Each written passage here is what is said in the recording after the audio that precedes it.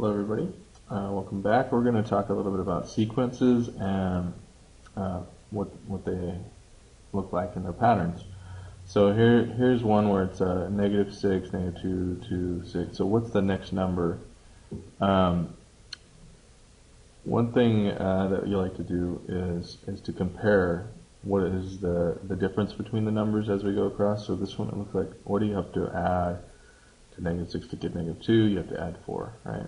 And then again to go from negative two to two, I add four, and then to go from two to six, I add four. So you you assume that this um, pattern will continue in this way. So what's six plus four is ten. So this one, the rule is to add four. Okay. Um, this is called an arithmetic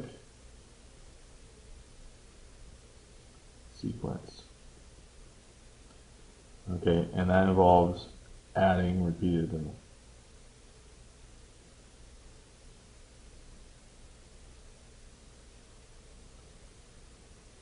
Okay, and now um, in this pattern, so this is in the next sequence. Um, so it looks like we add two, but then if we try to add two again, we should be at six, but so that doesn't work. Um, what about multiplying? So two times what gives you four? Two times two, right? And then four times two is eight. So it looks like my pattern is multiplying by two each time. So if I were to multiply by two again, uh, 2 times 16 would be 32. Okay, so this rule is to multiply by 2. And now this is called a geometric sequence. Okay, and it's when you're multiplying repeatedly.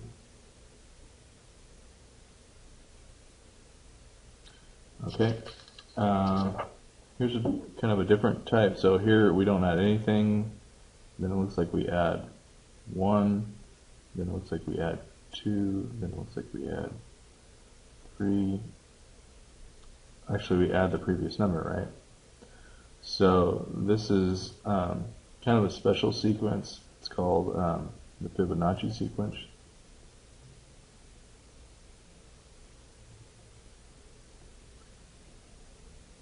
and it's also called a recursive um,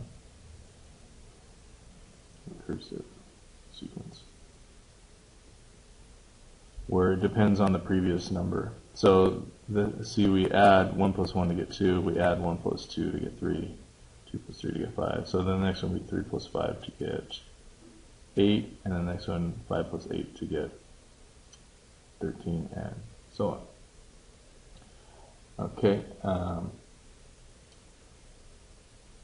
so what happens here? So 4, what do I do to get to 12? So I'd have to add 8, but that doesn't work to there. So how about think about multiply?